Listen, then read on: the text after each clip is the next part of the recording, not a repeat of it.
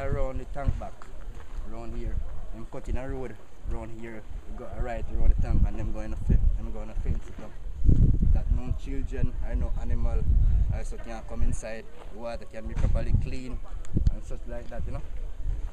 And it's a nice project them go on, them are going with.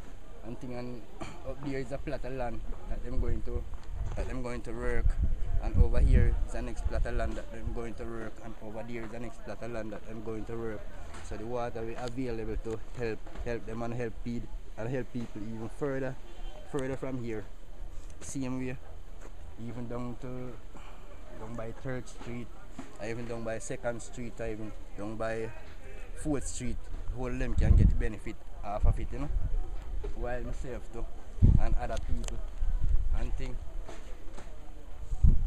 And going on, and it is going on nice, you know. I would like, to, I would love to have it here, you know. And we have a lot of support and such like that coming out. They have the MP, have a lot of member of parliament is here. Come see everything that everything is alright and such like that. And Yeah, you, you where, where do you live exactly?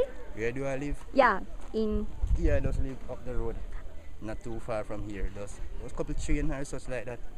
So Okay. Still, still community people, you know. Mm, still moving around, still moving around and see what's going on and what is best, you know.